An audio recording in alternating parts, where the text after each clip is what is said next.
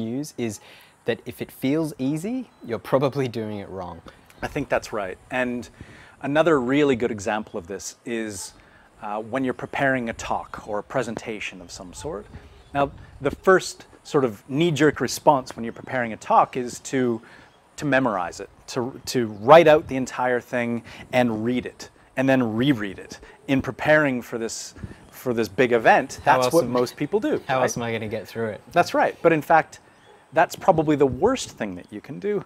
The, the best advice that I can give when preparing to give these sorts of things is to give it, right? Just present it. Find, pre- present it to your dog or your cat or your friend or your mother or something. Anyone who's willing to listen, just have a go. Don't, don't worry about um, getting the lines right or, or getting it's going to be bad. The first one two three times that you do is going to be horrible. You'll forget what it was that you were talking about. It's going to be terrible.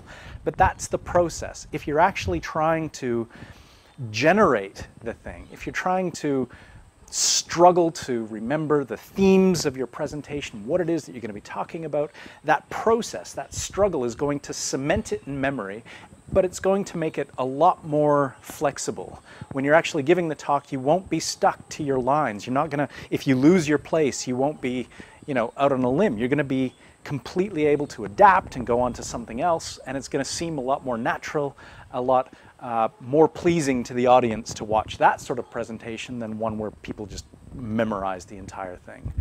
So